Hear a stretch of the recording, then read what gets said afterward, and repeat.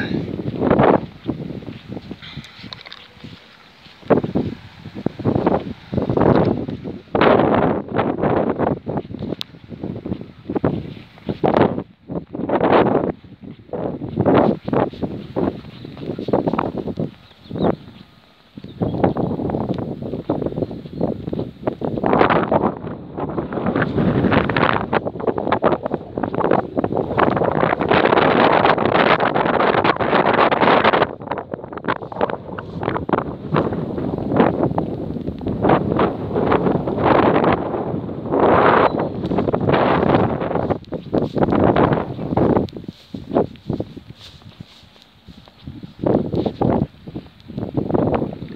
Sunday morning, 15th of October 2017 and here we have it, the Kirby Misperton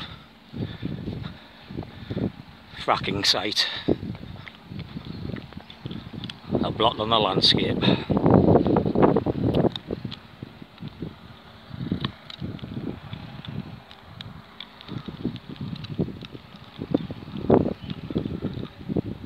And there's the sun coming through.